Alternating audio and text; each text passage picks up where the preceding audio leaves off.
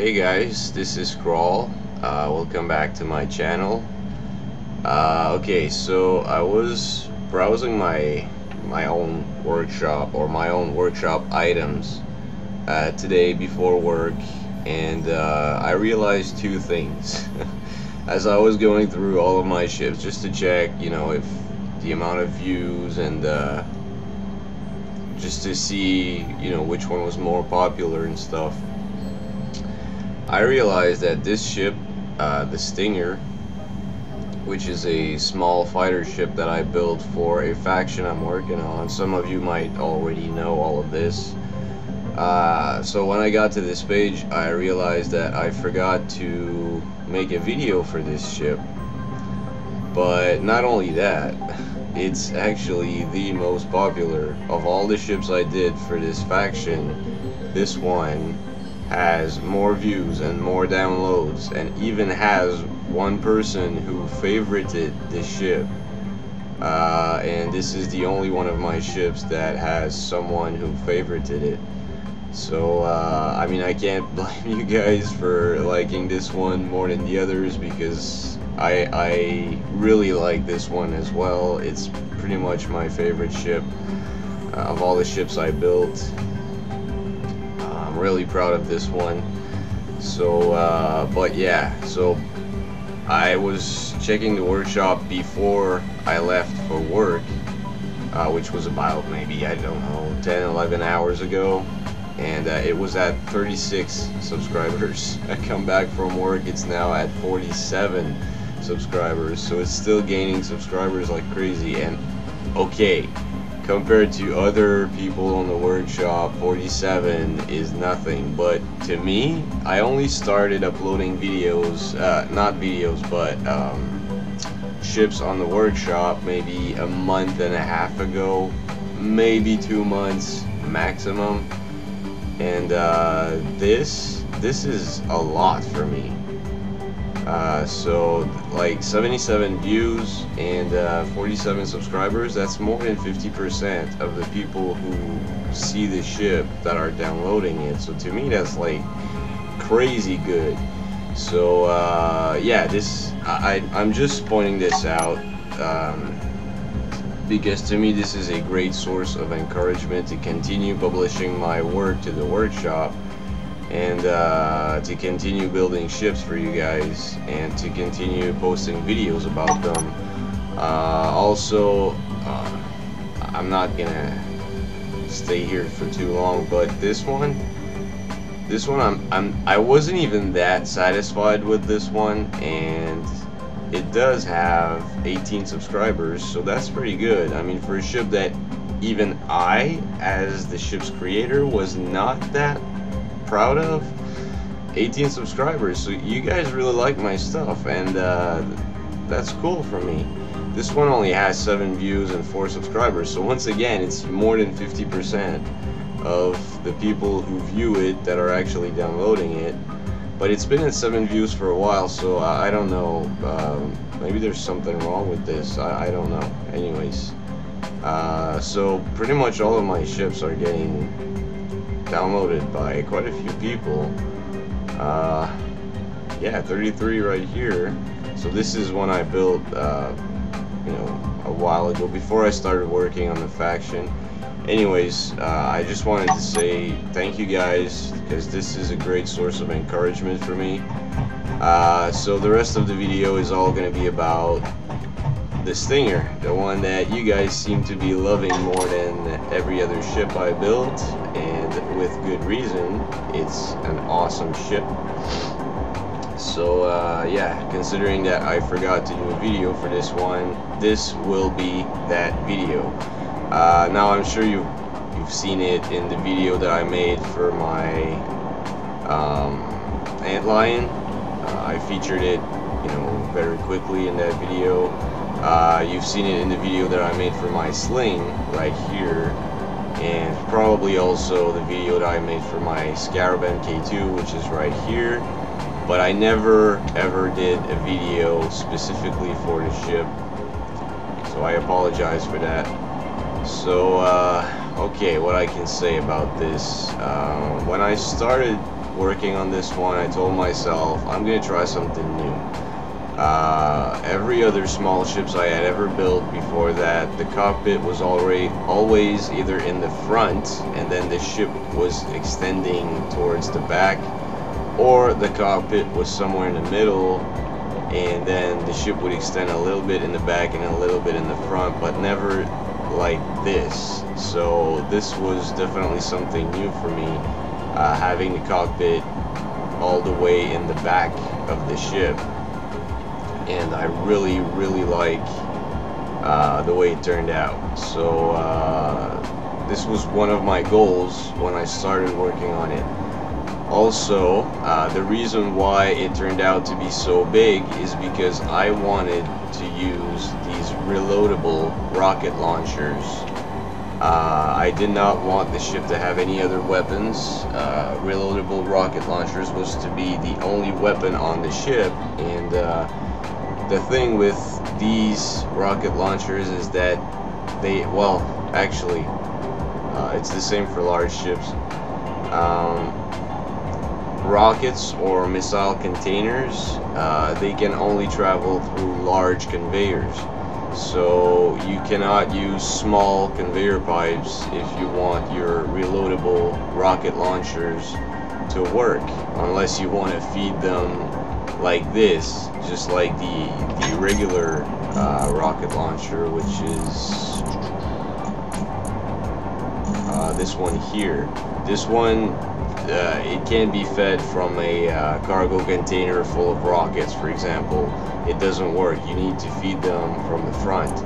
Uh, now the reloadable rocket launcher, which is right here, this one, uh, it can be connected to a cargo container full of rockets, and it's it's just going to feed itself from there.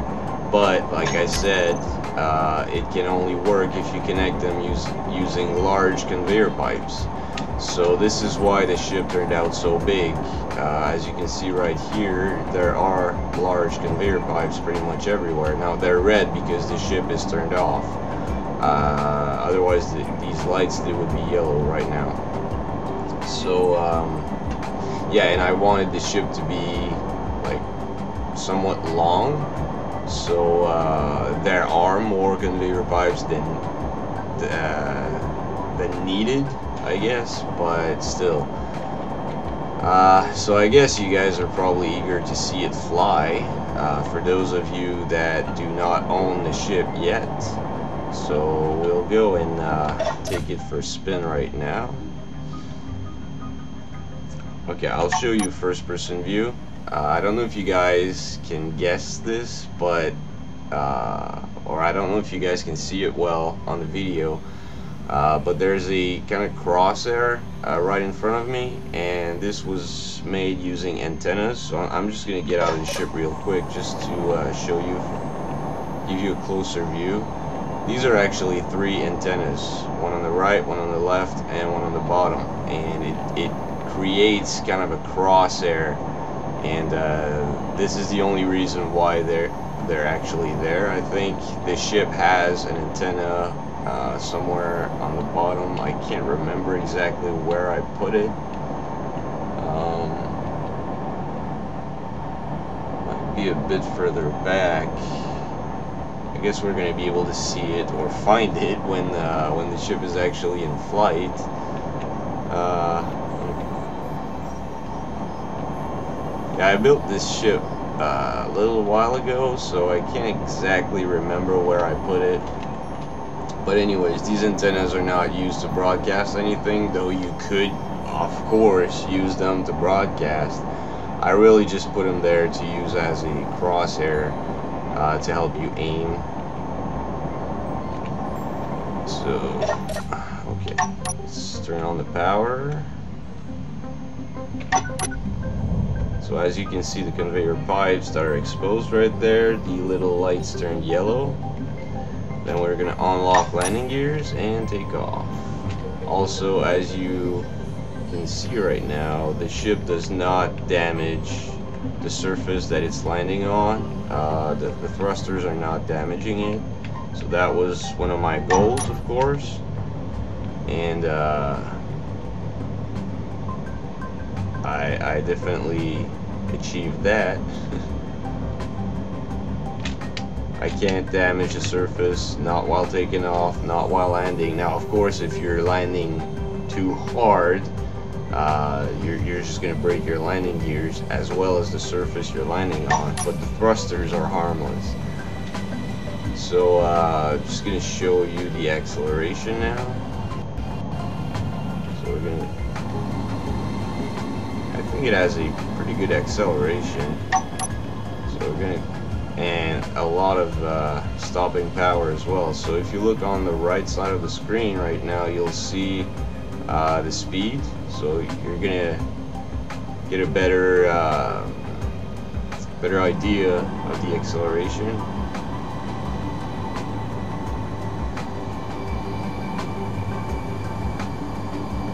And we're at top speed. So of course it's not the fastest ship, and uh, now we're stopped. So, it, like I said, it's not the fastest ship, but it does have a lot of uh, a lot of thrust.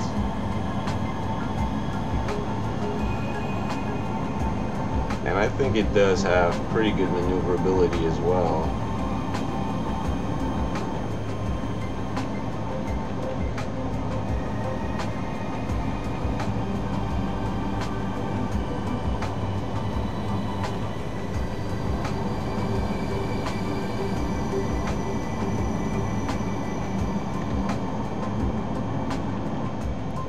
God, I love this skybox. I really apologize. I do not know the name of the person who made it, but dude or girl, you did a really good job with this one. It's awesome. I love it. I use it often to take screenshots for uh, the ships that I publish on the workshop. Look at that. It, it looks amazing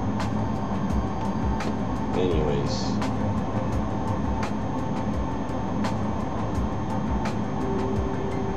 So the ship, the Stinger, the one I'm flying, it doesn't just look good. It's really good in flight. It, and uh, since I wanted to publish it and submit it uh, to be added to the game so that you can actually find it while exploring um, the developers are quite severe uh, and they have like very specific requirements. So uh, I could not add a bunch of guns and a bunch of rocket launchers on it. It has four reloadable rocket launchers on it and uh, that's all it has. Uh, if I filled up the ship with a bunch of weapons uh, the developers would have not even considered it. So uh, uh, I don't even know if they're considering it right now. Uh, but you know, I wanted to. Uh, I wanted to have a good chance for the ship to be selected to be added to the game, so I, I tried to respect their uh, their criterias as much as I can. So I did not add too many weapons on it, but it's still, I mean, four uh, rocket launchers, you can still do quite a bit of damage.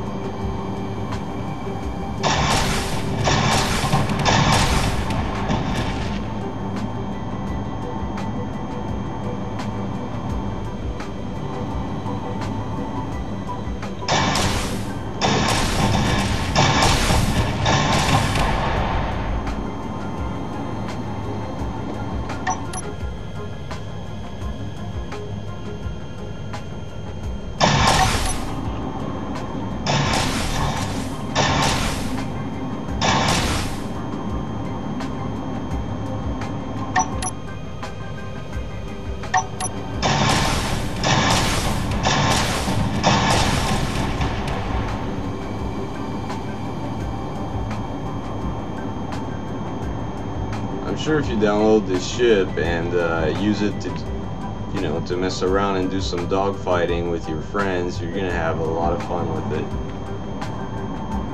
it. Sadly, I don't have any Steam friends who actually play the game, so uh, and I don't think I uh, my computer could actually handle uh, playing in multiplayer.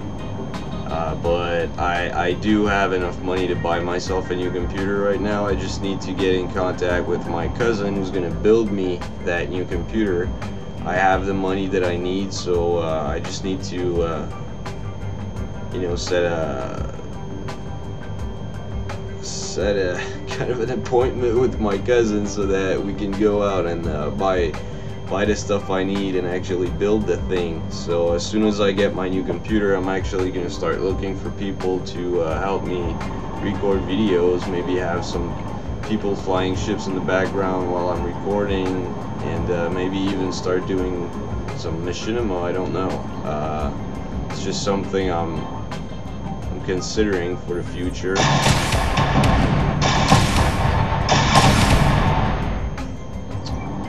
So, uh, I don't know what else I can tell you about this ship, guys. Uh, I guess I could look at its inventory, or uh, let's see how many cargo containers I put on it. Okay, so it, ha it has one medium cargo container, so it's still, uh, it, that's reasonable size. I mean, you can stockpile a bunch of things in there. Uh, now, of course, this is a fighter, so it would only, you know, carry rockets and fuel and stuff like that. Uh, let's see how many reactors. I think it's okay. So three, three large reactors. So you never have to worry about overloading. It's never gonna overload. Um, okay, so it does have four antennas, which is exactly what I thought. So let's try and find that last antenna that I could not find earlier. Pretty sure I put it somewhere underneath. Oh, there it is. no wonder I couldn't find it. So, uh, yeah, I didn't want this one sticking out anywhere. So that's why it's it's underneath, kind of hidden right there. So this is the one that would broadcast the name of the ship. And, uh, these are only there to act as a crosshair. And uh, speaking of let's let's try and fly in first person for a while. Okay uh, let's turn this on. Um, okay so the red ship's right there. As you can see the red dots are almost perfectly aligned with uh, the middle of the crosshair. It's it's not quite there, but it's almost perfectly aligned. So it definitely helps you uh, to aim.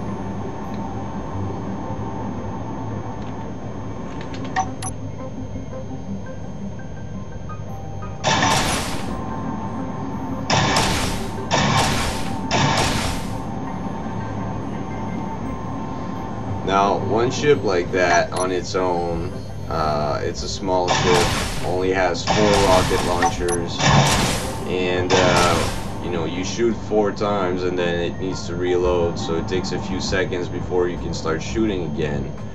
But a ship like the Scarab Mk2 has two of these stingers, and if you have a bigger carrier, then you can carry more. Like this, the first Scarab I built could actually carry six stingers on top of it. So six stingers, now you can start doing quite a bit of damage in quite a short time. And uh, the ship does respect the amount of triangles. Uh, it only has 75,000 triangles and the devs set the limit to 80,000 triangles. Uh, and the reason for that is because they want their submissions to be performance friendly for older computers. So this means that the ship is performance friendly, which means that you can fly a lot of these at the same time without reducing your frame rate. So uh, you can have a lot of these swarming uh, larger ships at once and uh, it won't mess up your gameplay at all so uh, if you have a lot of these swarming one large ship then I'm pretty sure that you could do quite a bit of damage to it so uh, yeah, I, I, did mention earlier that I wanted to check the inventory, right? So I put 10 uranium in each reactor, so it's it's survival ready. When you find it, it's gonna have uranium in the reactors. I put 15 missile containers in each one of the reloadable rocket launchers. And uh, is there anything in the cargo? No, there's a, there's nothing in the cargo container, but well, you know what? Hmm. I'm actually gonna update the blueprint. I'm gonna put stuff in the cargo container and I'm gonna leave it uh, as a surprise for you guys. Because I'm surprised that I didn't put anything in there because I did put uh, some some stuff in the cargo containers of the other ships that I built and I'm gonna leave it for you guys to find. I mean, if the devs do add the ships to the game and you do manage to find one while exploring, then you're gonna have a bit of a reward for finding it inside the cargo container. It's not gonna be anything crazy or anything like big, but if you're in a survival game, it's definitely gonna help you. So uh, I'm gonna put something in a cargo container, and uh, you guys can find out what it is uh, when you find it. So. So I'm gonna end the video here. Uh, video is already getting quite a bit longer than I wanted it to be. So um, I already know that you guys love the ship, so I'm not gonna say I hope you guys love the ship, like I usually say. Uh, so I'm just gonna say thank you guys for watching. Thank you guys for downloading my stuff. It's definitely a good encouragement for me, and uh, I'll see you guys next time. Bye bye.